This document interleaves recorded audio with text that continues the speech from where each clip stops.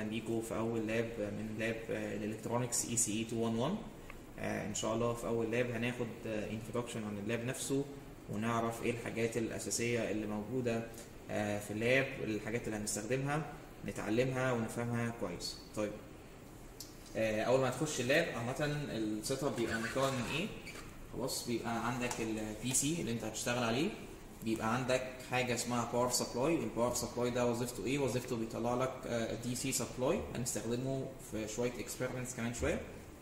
بيبقى عندك ال PC based oscilloscope and function generator وهيبقى في ورقة ملزوقة قدامك فيها ال pins بتاعه ال PC oscilloscope and function generator ده. طيب.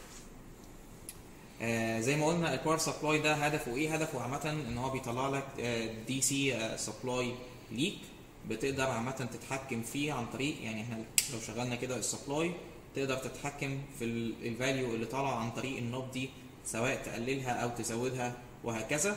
أنت هنا بيبقى عندك ال output terminals أنت اللي بتاخدها تاخد ال positive وال ground هتلاقيهم متوصلين بسلكة توصلها في ال circuit بتاعتك لما تحتاجها.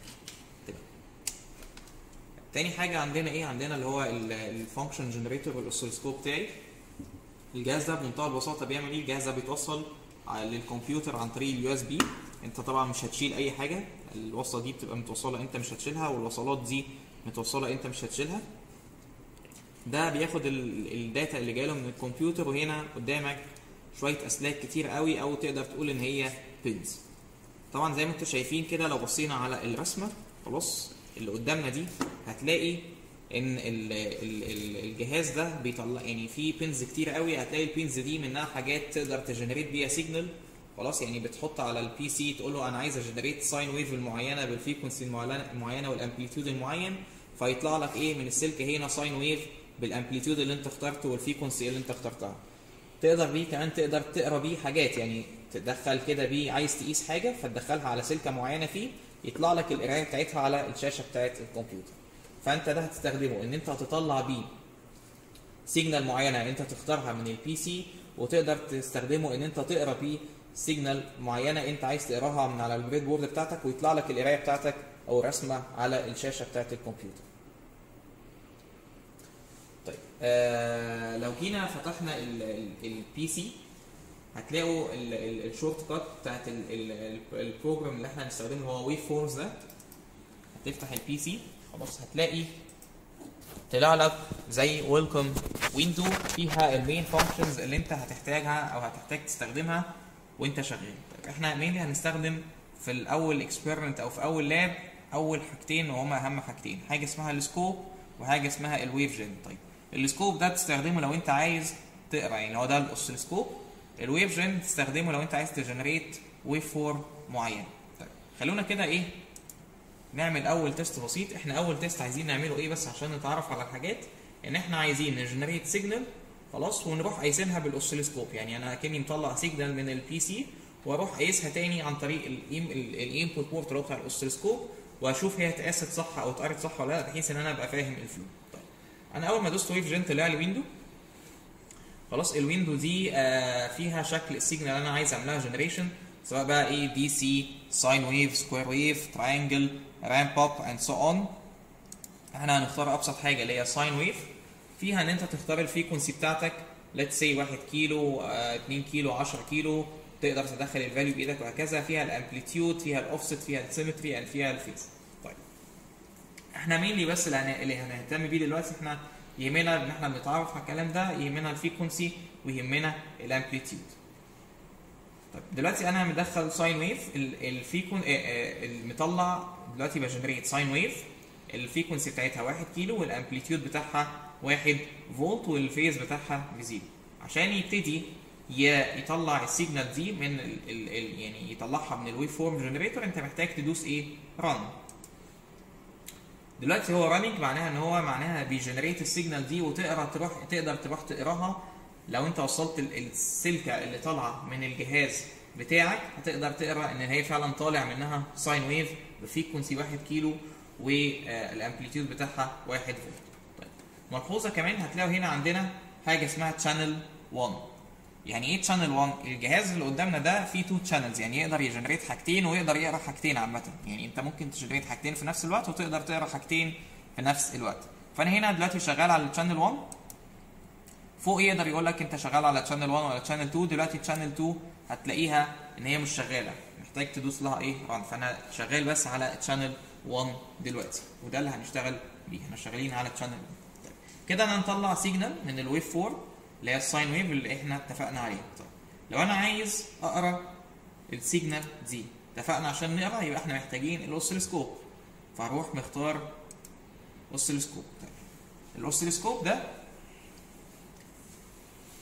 هتلاقي ليه pin معينة هنا يعني انت لو جيت بصيت على الورقة اللي قدامك هتلاقي فيه pin لحاجة اسمها scope channel 1 positive تمام وكان في هنا pin بتاعة ال waveform generator هتلاقي ال pin بتاعت ال waveform generator 1 إحنا اتفقنا كل حاجة فيها إيه 2 channels خلاص؟ فهتلاقي اللي هي waveform generator 1 هتلاقيها هنا waveform generator 2 هتلاقيها تحت الأصفر هنا. فاحنا هناخد اللي هي waveform generator 1 دي اللي هي طلعت لي ال sine wave بتاعتي.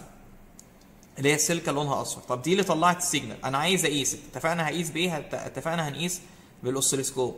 هنقيس بال oscilloscope let's say channel 1 اللي هي ال orange اللي على الجنب خالص الجنب الشمال خالص. فده ال scope ال scope channel 1 ده اللي هقيس بيه. طيب دلوقتي أنا اتفقنا مطلع ال signal بتاعتي على السلكة اللي لونها أصفر. دي دلوقتي اللي مطلعة ال sine wave اللي طلعت من على ال PC اللي هي 1 كيلو 1 فولت amplitude طيب أنا عايز أعمل إيه؟ أنا بس عايز أروح أقيسها على طول. خلاص فأنا هاخد ال output اللي هي السلكة الصفراء. عايز إيه؟ أقيسها أتأكد إن الحاجة شغالة صح. فرحت وصلتها على السلكة اللي لونها إيه؟ orange دي اللي هي السلكة اللي بقرا بيها. طيب. بعد ما عملت الكلام ده بعد ما وصلت هروح على ال PC وهدوس. بعد ما فتحت ال oscilloscope هروح دايس إيه؟ run هيبتدي يقرأ القراية. هلاقي إيه بقى؟ اتقرأ قدامي. هلاقي اللي اتقرأ قدامي زي ما أنتم شايفين ال sine wave اتقرت اهي. يبقى كده ال PC قاري ان داخل له على السلكة ال orange اللي إحنا اتفقنا عليها sine wave طيب. هتلاقي عندك برضو إيه؟ two channels هنا على الجنب.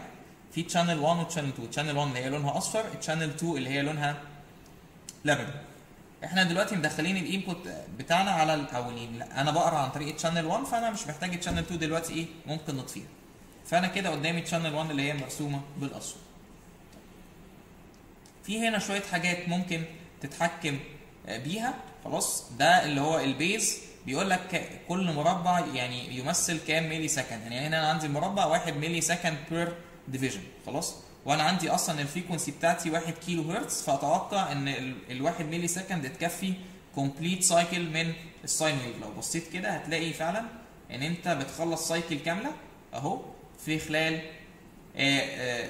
division واحد. ليه بتخلص cycle كاملة في خلال division واحد؟ أنت ال frequency بتاعتك 1 كيلو والمربع الواحد بالعرض يمثل 1 millisecond فهتلاقي ال period بتاعت ال sine كلها جوه المربع وهكذا.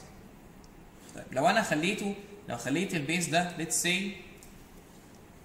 0.25 millisecond per division هتوقع إيه؟ هتوقع إن ال sine wave هيحصل لها إيه؟ هل أتوقع إن ال sine wave هتترسم لي في أربع مربعات زي ما أنتم شايفين أدي واحد أدي اتنين أدي تلاتة أدي أربعة وتبتدي تتعاد تاني وهكذا. طيب. فأنت تقدر تتحكم في ال resolution بتاع ال time عن طريق إيه؟ اللي هو إيه ال base بتاعك ده كل مربع يمثل أو كل division يمثل لك كام millisecond أو كام microsecond وهكذا. خلاص كده إحنا تعالوا نرجعها تاني واحد millisecond per division زي ما كانت موجودة. طيب.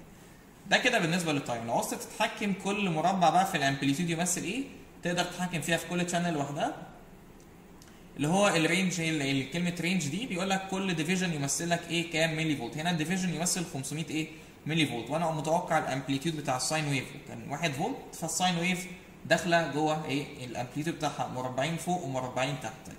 لو خليت كل واحد منهم يمثل لي 250 إيه اللي هيحصل؟ هلاقي ال amplitude بتاع ال sine wave بقى جوه إيه؟ فوق أربع مربعات وتحت أربع مربعات زي ما أنتم شايفين. أربع divisions فوق أربع divisions تحت. كل واحد منهم هيدي 250 250 250 250 ملي في فوق. 1 فولت وفي تحت 1 فولت. خلاص ممكن نرجعه تاني إن هي تبقى 0.5 لا ده sorry ده ال time إحنا هنا لعبنا في ال time ممكن نرجع ده تاني هنا يبقى 500 ملي فولت per division طيب يبقى إحنا كده فهمنا الدنيا ماشية إزاي. يبقى كده نلخص كل اللي عملناه هنا على ال PC إحنا اتفقنا عندنا welcome window عندنا حاجتين أساسيين هنستخدمهم في ال welcome window سواء ال waveform gen ده اللي ب generate بيه ال signal ال scope ده اللي بقرا بيه ال signal فتحنا ال waveform gen عملنا generate generation ال sine wave اخترنا ال frequency واخترنا ال amplitude اتفقنا إن هي هتطلع لي على بناية معينة في الجهاز بتاعي ده تقدر تفتكر البناية المعينة دي من الرسمة اللي قدامك. هنا كانت ال waveform generator 1 اللي أنا كنت مطلعها كانت على السلكه الصفراء.